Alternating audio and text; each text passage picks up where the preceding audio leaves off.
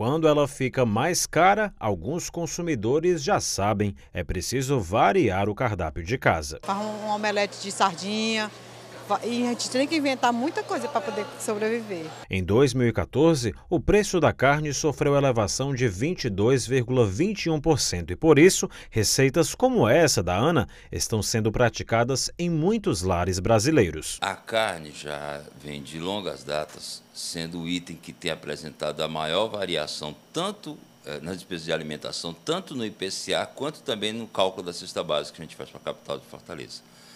Ah, essa tendência ela vem desde 2007. Disparado é o item que tem crescido mais. O outro vilão era o feijão, mas já começou a apresentar uma tendência de queda ou de estabilidade de preço. O valor pouco acessível teve influência também sobre a produção. Ano passado, o abate de carne foi 1,5% menor que o registrado em 2013. Fica difícil.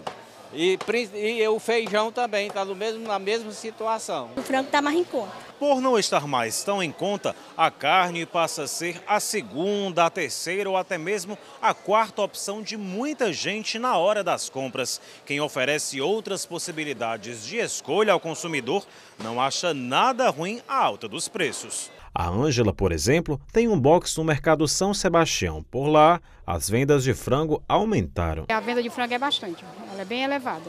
A venda aumenta na faixa de 15% ainda. Os produtores de frango também têm o que comemorar. Em comparação a 2013, o setor cresceu 1,9% ano passado. A necessidade de substituir a carne também expandiu a produção de suínos no mesmo período. É a alternativa que tem para não se consumir é, um produto que está com elevação tão significativa, né? Aí vem as carnes menos nobres, fígado, coisa assim, vísceras, ah, como peixe, como frango, isso acaba virando alternativa para que você consiga escapar de preços tão elevados.